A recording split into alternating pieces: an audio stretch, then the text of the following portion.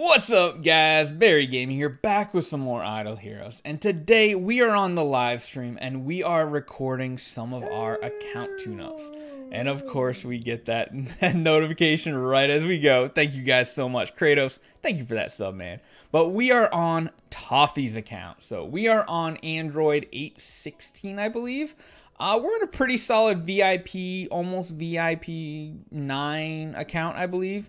Uh, but yeah, we have a pretty solid mid-game PvP-esque server. Um, interesting hero combinations. Usually you don't see a Carrie this early. You really don't. But you got two Garudas in the works, which which means we are working on Sealand Forest.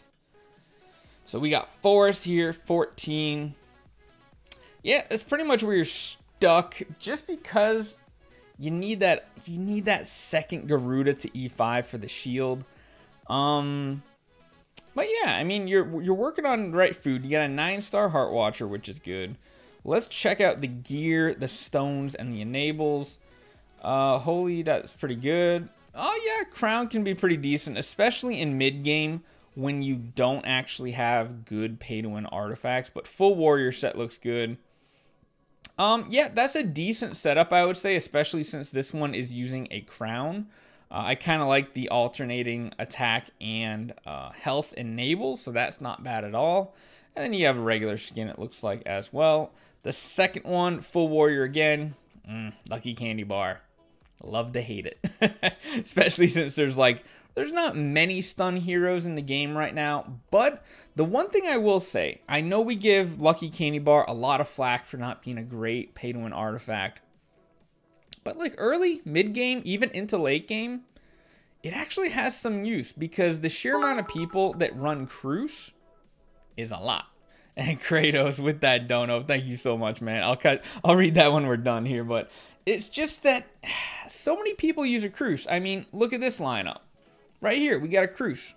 We got a Cruz, and we got... No, we don't have a Ruyi Scepter. That would be really overpowered early game. But, um... But, I mean, the way you got these heroes set up, having a crown this early is amazing on Garuda for PvP. Just absolutely amazing. Um, and like I said, Lucky Candy Bar is not all that bad, especially since this one's only E2. At E3, you have Purify, so you could figure you don't really need it, but uh, I mean, Cruz is a very pre prevalent prevalent hero in the mid game of Idle Heroes, and he's super strong. And that stun is super high percent chance. So Lucky Candy Bar can be pretty good. Um, it's a decent stone for now. Don't worry about re-rolling it until later on. But um, looks like you're going more offensive. That can be fine. That can be fine. Uh, but as far as Sealand goes, the E2 Garuda pretty much doesn't do anything because she ends up getting just completely one shot. So, yeah, Cruz, you got split gear on, kind of, kind of, kind of. What's up, June, with the two subs? Thank you so much, man. Um, so honestly, with this here, first off, you should at the very least be running this setup here. At least four piece. Um, honestly though, since you really don't care about the attack, I would go down a two three piece here. The only difference I would say is if if your Cruz is too tanky for PvP, you might want to adjust it and give him less HP. That's something you consider about. But you do also have, ooh, you got a couple of the skins, huh? You got an extra skin here as well. Nice. But yeah, split gear would work pretty good. And like I said, you don't really have many amazing artifacts. You got another damage roots here, which will be good. But Yep, not too bad. Uh, oh, I totally forgot. I started on the Garudas and totally forgot to look at your Carrie, man. So, full Ranger set with Augustus and Speed HP. Decent. Personally, I like Speed Attack better.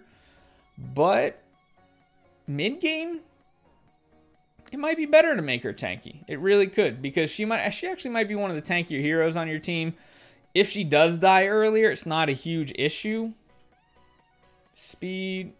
Um, I guess this one's kind of up to you. I'm not sure if you like running balance strikes. So she dies early and then your weaker heroes die and she resurrects and gets another active off. Eh, we'll have to see. We'll have to see. I guess it's more or less, I'll, I'll kind of leave it up to you because it does seem like you know what you're doing. And at the end of the day, You know what your PvP meta is on your server group better than what I can. I mean, we can take a peek in here to try to see, but until you've actually fought a lot of the fights, you really don't know. Uh, Penny, let's see, Unimax, Garuda. So you're pretty much in line with most of these. I mean, you're definitely on the stronger end of this server. But yeah, like you see, you see tons of Cruz everywhere. So Lucky Candy Bar is actually pretty solid item for uh for Garuda right here. I would say it's pretty solid right here. You got yeah.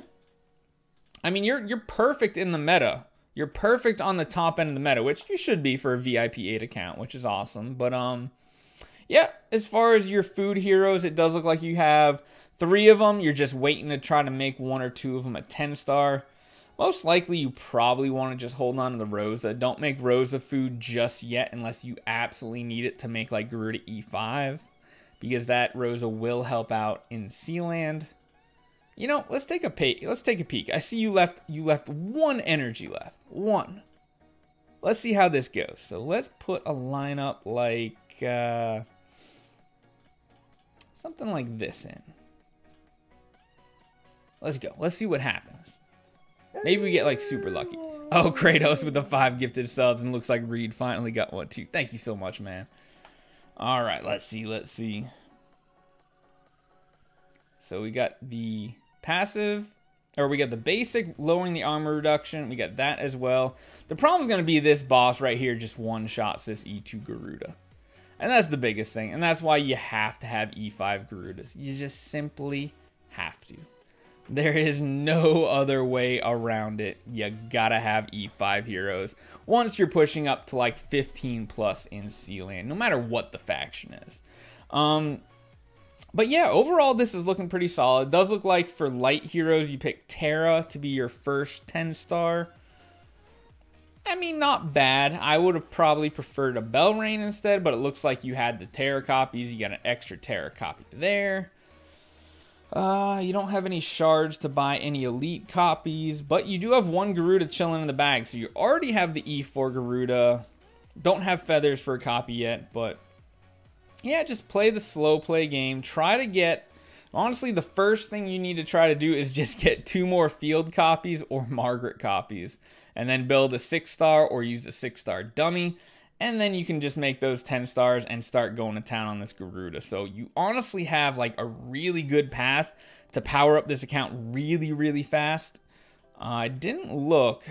Yeah, you're tapped out of scrolls and prophet orbs, so this isn't an account that really cares about the new anniversary event coming up, but I went Tara because the game gave me copies. Still haven't got a single Ada copy.